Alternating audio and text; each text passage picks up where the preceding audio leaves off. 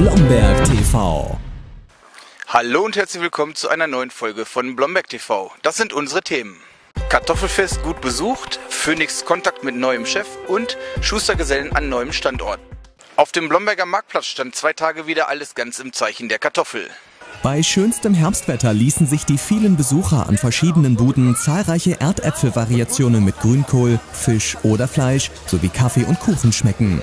Für musikalische Unterhaltung sorgte unter anderem eine Gruppe aus der Blomberger Partnerstadt Papendrecht. Organisator Elmar Meilenbrock war zufrieden mit der Resonanz und meinte, dass es angesichts voll besetzter Plätze doch gar nicht hätte besser laufen können.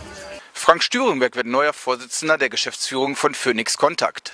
Der studierte Wirtschaftswissenschaftler tritt das Amt am 1. Januar 2015 an. Zudem behält er seine Zuständigkeit für den Geschäftsbereich Vertrieb. Stürenberg übernimmt die Aufgabe, die bisher Klaus Eisert innehatte, der künftig einen Beirat aufbauen möchte.